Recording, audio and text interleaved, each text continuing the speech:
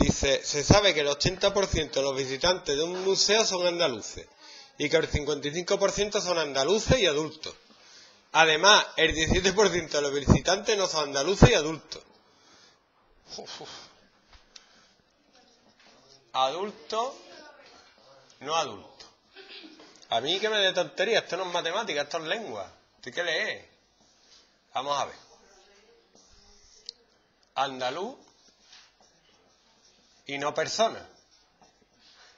Ya está, es lo que hay. Eres andaluz, eres persona, y si no, ¿tenéis el enunciado no? Pues no miréis la tabla, porque si miréis la tabla no, no es emocionante. Dice, se sabe que el 80% de los visitantes de un determinado museo son andaluces. Entonces yo pondría aquí que son todos los andaluces 80. El 55% son andaluces y adultos. Andaluz adulto 55. Además, el 17% no son andaluces y adultos.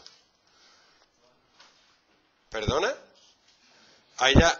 ¿qué quiere decir? ¿Que no son andaluces ni adultos? Que son, no son andaluces y adultos. No andaluces y adultos. 17. ¿Yo con esos datos puedo rellenar el resto de la tabla no? Tiene que dar, esto tiene que ser 25. Entre 55 y 17 es 55 más de 25.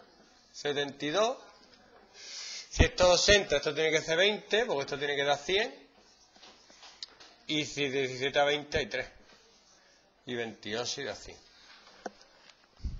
Y eso es todo el problema. Luego responde a las preguntas. Probabilidad de que no sea adulto. ¿Cuál sería?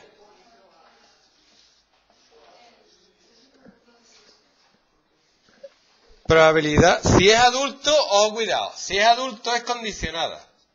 Si es adulto, ¿cuál es la probabilidad de que sea andaluz? Eso sería. Probabilidad de que sea andaluz y adulto partió la probabilidad de que sea adulto. De adulto hay 72 y andaluces y adultos hay 55.